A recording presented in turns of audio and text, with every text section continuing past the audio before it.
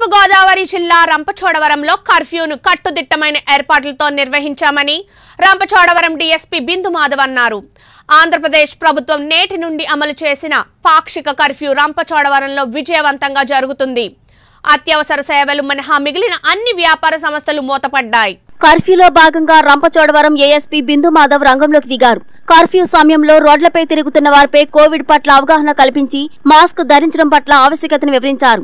ఈ సందర్భంగా ఆయన మాట్లాడుతూ గతంతో పోలిస్తే ప్రస్తుతం ప్రజల్లో మార్పు వచ్చిందని వ్యాపారాలు కూడా స్వచ్ఛందంగా దుకాణాలు మూసివేస్తున్నారని ఇదే విధంగా అందరూ బాధ్యతగా వ్యవహరిస్తే కోవిడ్ని ఎదుర్కోవడం సులభతరం అవుతుందన్నారు. అంతేకాకుండా ఇప్పటికే ప్రజలకు కరోనా అంటే భయంతో ఉన్నారని అందుచేత ఉన్నతాధికారుల ఆదేశాల మేరకు శాంతియుతంగా ప్రజలకు అవగాహన కల్పిస్తున్నామన్నారు fifth May two thousand twenty one నుంచి ఎయిటీన్త్ మే దాకా గవర్నమెంట్ రెండు వారాల పాటు పార్షియల్ కర్ఫ్యూ విధించడం జరిగింది.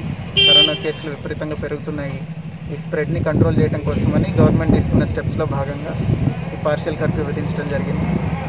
దీనిలో ఎన్ఫోర్స్మెంట్ కోసం పొద్దున్న సిక్స్ ఓ క్లాక్ నుంచి ట్వెల్వ్ ఓ క్లాక్ వరకు మాత్రమే షాపులు తెరవాలి. పన్నెండు గంటల తర్వాత మెడికల్ షాపులు అయితే తెరవచ్చు.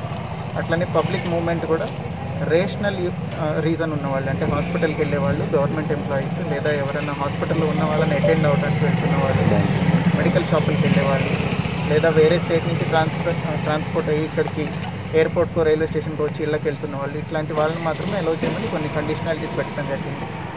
సో దానికోసం ఇవాళ పన్నెండు గంటలకు షాపులన్నీ ఆపేసి పబ్లిక్ మూవ్మెంట్ని కంట్రోల్ చేయడానికి అన్ని చోట్ల బందోబస్తు పెట్టాము ఇంతకు ముందు సంవత్సరం ఈ టైంలో కన్నా ఇప్పుడు పబ్లిక్లో మీరు చూస్తేనే తెలుస్తుంది వాళ్ళ కోఆపరేషన్ చాలా ఎక్కువ ఉంది. పబ్లిక్లో అవేర్నెస్ పెరిగింది కరోనా మీద.